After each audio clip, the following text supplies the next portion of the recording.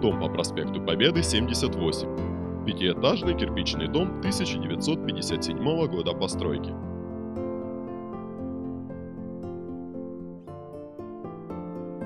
Из-за близости к проспекту в квартирах может быть достаточно шумно. Состояние входа в парадные удовлетворительное. Установлены домофоны.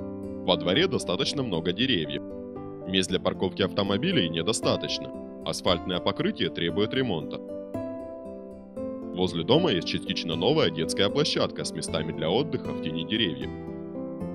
Есть также и спортивная площадка. Неподалеку парк, станция метро, магазины и супермаркеты. Рядом с домом находится детский сад, школа, остановка общественного транспорта. Дом в удовлетворительном состоянии.